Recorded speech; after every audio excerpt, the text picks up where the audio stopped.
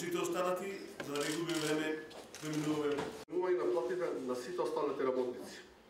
Република Северна Македонија е земја која вашата поддршка за нас е показател да сме направиле постигнавме континуирано зголемување на минималната плата по пат на социјален диалог и предизвици во државата не може и не треба да се решават само преку грбот на нашите